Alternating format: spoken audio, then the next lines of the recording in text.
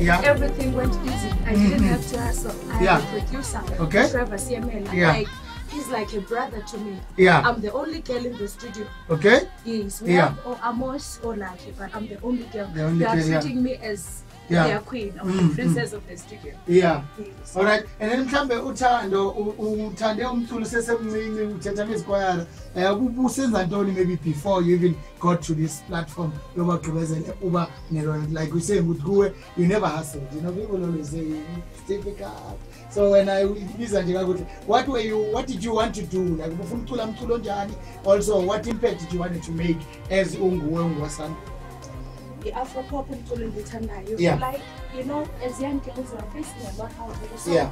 i've always have that passion that i can express our everyday lives Yeah. through music mm. yes. so ufuna ucula i-gospel no afro pop Afro pop, yeah. gospel is one of